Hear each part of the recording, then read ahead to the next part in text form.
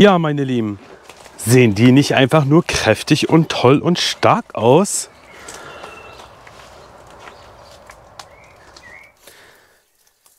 Ja, hallo und herzlich willkommen zu ein neues Video, meine Lieben.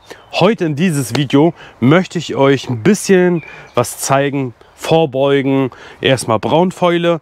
Wie kriege ich meine Tomate schmackhafter? Wie geize ich aus? Wie könnte ich mit den Geiztrieben noch ein bisschen ausgeizen und ausreizen? Das möchte ich alles in dieses Video mal euch mal zeigen. Ihr seht ja Vielfalt von Tomaten. Einmal hier Strauchtomaten, Buschtomaten und alles sowas von der Vielfalt. Ich suche mir jetzt eine bestimmte Tomate raus, die schon ein bisschen mehr Ansätze hat und dann zeige ich euch das mal. Ich fange an mit der Tomate Harzfeuer. Kann man richtig gut sehen. Das ist die hier hinten. Ich habe sie an eine Stange, wächst sie hoch. Bei den Geiztrieben, das ist ein Geiztrieb daneben. Dieser Geiztrieb muss man nicht ausgeizen, kann man ausgeizen. Ich mache es, ich kann es nur jedem empfehlen, weil die meiste Kraft geht in den Geiztrieb. Die Pflanze denkt, wir müssen diesen Geiztrieb äh, voranbringen und in Blüte bringen. Aber ich möchte ja auch Früchte und wie ihr alle genauso auch Früchte. Ähm, dann kann auch mal passieren, hier oben, wo mein Finger hin zeigt, das ist die Krone von der Tomate. Es kann immer passieren, dass die Krone aus Versehen mal abbricht. Denn habt ihr noch Gott sei Dank eine Krone. Hier, dieser Geiztrieb. Wenn mal die Krone abbricht, die Geiztrieb dran lassen. Unterhalb alles abmachen.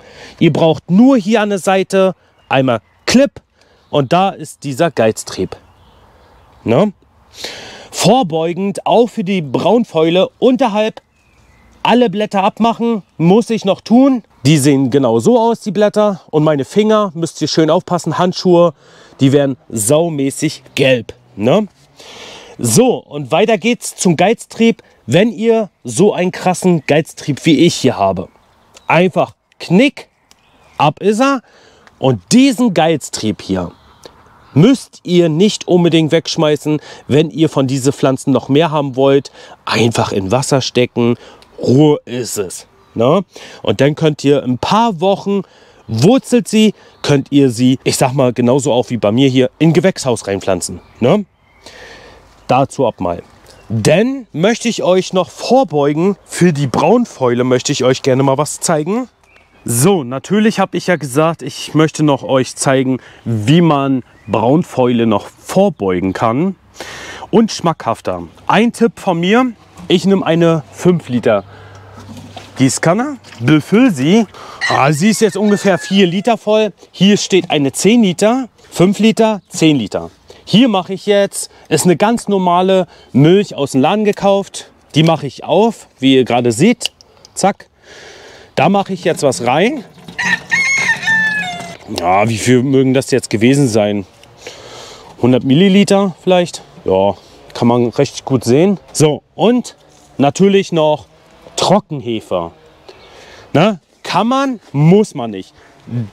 Und danach mit das Regenwasser komplett die Milch und die Trockenhefe aufgießen, rühren, rühren oder in einem Eimer mit Milch und Wasser mit die Trockenhefe aufrühren.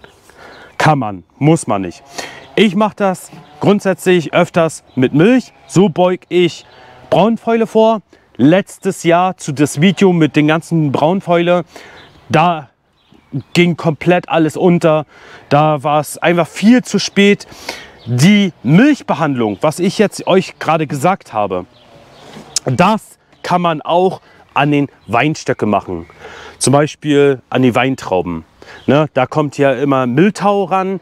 Dann braucht ihr eigentlich nur Wasser, Milch und eine Sprühflasche und braucht ihr nur sie einsprühen. Da braucht ihr nichts kaufen. Nochmal zurückzukommen, die Trockenhefe rührt sie in einen Eimer an mit Milch und dann löst sie sie auf. Ne?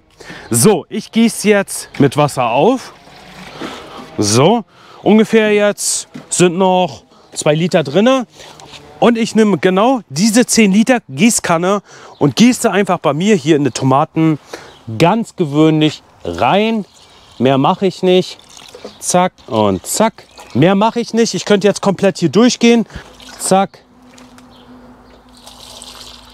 Und zack. Und das brauche ich nur einmal durchgehen und dann sind alle Pflanzen einmal vorbehandelt gegen Braunfäule. Na, also das mache ich so. Und die Trockenhefe, ihr könnt auch äh, die Trockenhefe in Würfelformat. Hauptsache, sie löst sich richtig schön auf und dann macht das Sinn. Das könnt ihr haargenau das gleiche Trockenhefe mit Milch und Wasser aufgießen. Einmal durchgießen. Perfekt. So, und jetzt möchte ich euch mal was richtig Geiles zeigen. Jetzt nehme ich wieder eine 5 Liter Kes äh, Gießkanne, Entschuldigung, 5 Liter Gießkanne, fülle sie wieder.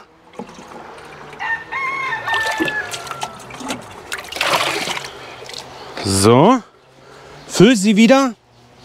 Und ich muss mir aber noch einen Stock holen. Moment. So, dann nimmt ihr einfach ganz gewöhnlich Jodsalz.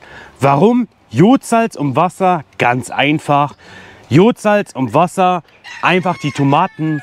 Mensch, Terrence, unterbreche mich doch nicht.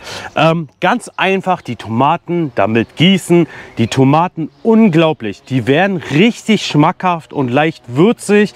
Ihr als Tipp kann ich euch auch noch empfehlen, pflanzt euch, wenn ihr möchtet, Schnittlauch, Petersilie, Rosmarin, ähm, Basilikum, alles so eine äh, äh, Kräutersorten, was ihr möchtet, einfach reinpflanzen, die Würze haben. Einfach rein. Ich habe es jetzt dieses Jahr nicht gemacht, weil ich mein tolles Kräutergewächshaus habe.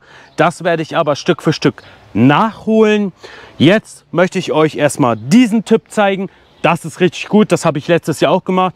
Ein, zwei Pflanzen waren richtig super von mir. Ich werde jetzt genau zwei Pflanzen gießen. Die werde ich jetzt mit euch markieren und herauszufinden, wenn die Tomaten, äh, Tomatenverlosung wollte ich gerade sagen, Tomatenverkostung ist, werden wir genau herausfinden, ob es wirklich so ist, weil ich hatte letztes Jahr zwei Pflanzen auch damit gegossen und sie war wirklich unglaublich würzig. So, ich nehme einfach hier Jodsalz, ganz gewöhnlich Jodsalz, macht das euch irgendwie in eine Schüssel, in eine Tasse, wie auch immer. Am besten drei Teelöffel. Drei Teelöffel auf 5 Liter habe ich immer so. Die ist jetzt wieder nicht ganz voll. Das ist jetzt äh, 4,5 Liter sind da drin vielleicht. Ich schütte jetzt ungefähr, Pi mal Daumen, einfach rein. So. Und ich sag mir so, eine 5 Liter äh, äh, äh, Gießkanne auf drei Teelöffel. So habe ich es gemacht. So könnt ihr es gerne auch übernehmen. Einfach ausprobieren. Gießt zwei, drei Tomaten, auch Paprika. Sie wird richtig würzig, aber passt auf, auf Melone, Honigmelone, Zucchini und alles. Das würde ich nicht gießen. Und jetzt, dafür habe ich extra den Stock geholt. Und jetzt kräftig rühren, bis das Salz sich aufgelöst hat. Rühren, rühren, rühren. Und wir rühren und es ist ganz doll heiß heiß, heiß. Und im Gewächstunnel ist es noch heißer. So, und wir nehmen uns das, das Wasserchen. Ich suche mir genau zwei Tomaten aus, meine Lieben. Und ihr merkt euch ganz genau, wie sie heißen.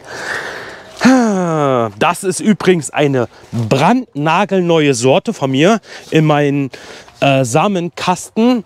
Die heißt Kakao-Tomate. Das sind genau diese zwei Objekte hier. Und die, merkt ihr euch, Kakaotomate, genau in der Reihe stand sie und ich gieße sie jetzt genau in diesen Topf rein.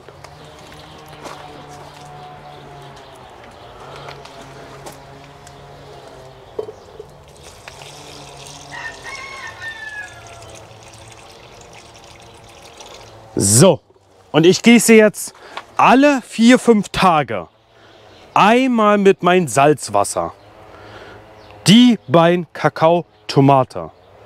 Merkt euch die beiden. Und bei der Tomatenverkostung werde ich genau die zwei Tomaten herauspicken. Und da bin ich sehr gespannt, weil ich habe noch zwei Kakaotomaten und den Unterschied herauszufinden. Nächstes Jahr möchte ich gerne mit Basilikum, Rosmarin und alles, genau da, wo die Töpfe jetzt stehen, genau da eine Rosmarin, Basilikum, genau hier, hier genau in der Mitte, Basilikum und Rosmarin oder Schnittloch, Schnittknoblauch, reinpflanzen ist richtig, richtig geil. So, ihr seht ja ganz genau an mir, bei mir läuft richtig krass die Suppe. Ähm, wenn ihr was mit den Tomaten vorhabt, irgendwas macht, wie pflücken, ausgeizen, Unkraut, egal was ihr an den Tomaten macht. Ähm, ihr seht das ganz genau an meine Finger. Zieht euch Handschuhe oder Gummihandschuhe an oder nimmt euch eine Gartenschere und schneidet Stück für Stück die Blätter ab Ne, unterhalb alles ab. Das mache ich jetzt nebenbei auch noch schnell. Stückweise alles abbrechen und alle Geiztriebe schön raus. Und ich habe ja von Geiztriebe geredet. Ich habe natürlich Paprika hier auch zu stehen. Möchte ich euch auch gerne mal zeigen. Und Melone sowieso. Bei der Paprika ist es haargenau das gleiche wie bei den Tomaten.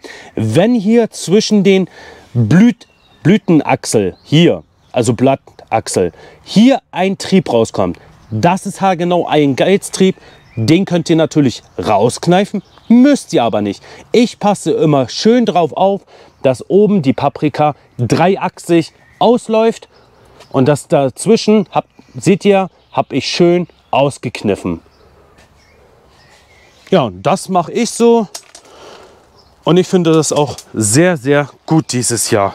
Ja, ein schnelles, kurzes, schnelles Video. Ich hoffe, ähm, die Tipps helfen euch. Mir helfen sie schon lange. Nur letztes Jahr haben mir meine äh, Milch gegen Braunfäule leider nicht mehr gewirkt. Die Braunfäule war einfach viel zu weit fortgeschritten und jetzt beug ich einfach vor. Die zwei Tomaten, die ich gerade euch gesagt habe, werde ich nicht gegen die Braunfäule behandeln. Da werde ich einfach nur mein Salzwasser gießen. Merkt euch die, schreibt das mal unten rein. Schreibt mal unten in die Kommentare, ob die Tipps euch hilfreich waren oder nicht. Schreibt mal rein, mich würde das mal interessieren. Gebt mir einen Daumen, wenn euch das Video und die Tipps hilfreich waren. Bis zum nächsten Mal, euer Selbstversorger Sandro. Ciao!